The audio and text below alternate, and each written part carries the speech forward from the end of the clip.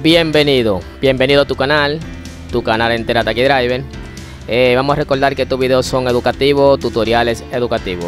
Bien, en este video le vamos a mostrar cómo saber si su celular, si su WhatsApp está intervenido de una manera de una manera fácil. Bueno, eso es para saber si realmente otra persona eh, ha cogido nuestro WhatsApp y lo ha escaneado en otro dispositivo para saber lo que estamos hablando, para ver nuestras conversaciones. Vamos a mostrar cómo ustedes ver eso, si le han hecho eso a su WhatsApp. Bien, bueno, lo que vamos a buscar es nuestra aplicación de WhatsApp. Bien, bueno, entonces vamos a buscar ya nuestra aplicación. Eh, aquí tenemos nuestra aplicación, vamos a abrirla. Aquí estamos ya en WhatsApp. Lo que vamos a hacer es que nos vamos a dirigir aquí donde están estos tres punticos. Le vamos a dar ahí. Aquí vamos a buscar donde dice dispositivo vinculado. Como ustedes pueden ver, aquí dice dispositivo vinculado. En otro equipo puede decir realmente eh, WhatsApp web.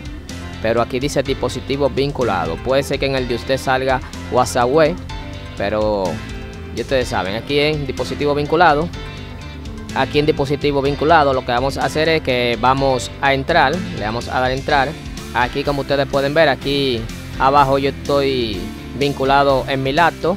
Como ustedes pueden ver ahí dice Windows. Eh, a ustedes les saldrá si tienen más dispositivos vinculados ahí en esas opciones. Lo que ustedes van a hacer para cerrarlo eh, lo que van a hacer es darle un clic a cualquier dispositivo que esté abierto ahí como por ejemplo ahora le daré un clic a este aquí como ustedes pueden ver ahí dice cerrar sesión o cerrar. Bueno realmente yo no lo voy a cerrar porque esto estoy utilizando eh, ustedes van a dar a cerrar sesión y ya dándole ahí a cerrar sesión estará su problema resuelto. Bueno, también les recomiendo en un video que tengo de cómo ponerle seguridad a su WhatsApp mediante la huella, mediante la huella táctil para que otra persona no tenga acceso a su celular. Usted puede ir a ese video, lo vamos a dejar aquí al final del video para que usted vea cómo para que usted vea cómo hacer esa configuración y nadie más pueda entrar a su WhatsApp que no sea usted. Bien, bueno, eh, como siempre digo, compartiendo este video y bendiciones.